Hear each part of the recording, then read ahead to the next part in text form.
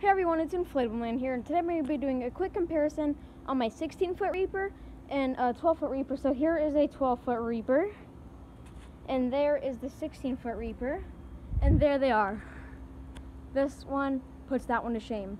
So before I start completely start the video, I just want to give a shout out to Hamster Boy 81.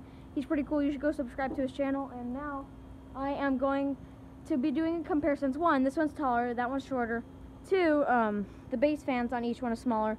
And three, this one has different LED lights and that one has regular light bulbs. And four, uh, he does not have an axe and that one does. And the only, my, this one has no damage, but the only damage on here is minor. As you can see, it's been scratched and you get a little bit of a cut there. But other than that, they're both pretty cool. So yeah, hope you guys enjoyed this video. If you did, please like, subscribe, leave comments down below, and see you guys in my next video. Bye.